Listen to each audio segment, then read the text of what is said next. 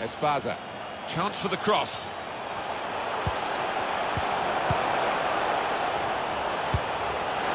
Well, that's a fantastic goal. And that's the third, the hat-trick. It's a day he'll never forget.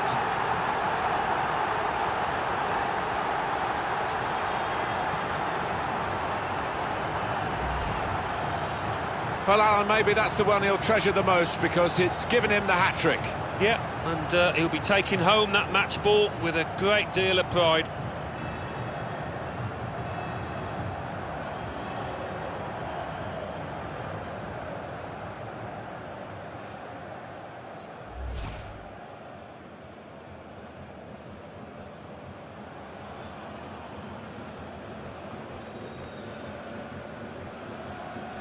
Three-one the scoreline as we restart the game.